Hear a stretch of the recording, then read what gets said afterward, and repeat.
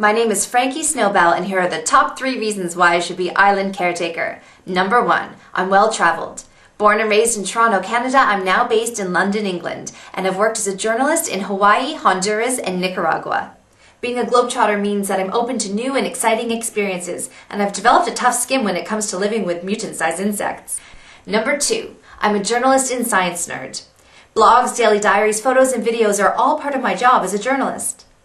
I also have a science background, which means a deep and nerdy appreciation for the biodiversity found on Hamilton Island. And lastly, number three, I don't want your money. Let's spice up this island experience and get more people involved. I propose to use the $150,000 plus extra fundraising to fly down both volunteers who are making a difference and people who could use a bit of luck and sun in their lives. Marine conservation, beach parties, survival training.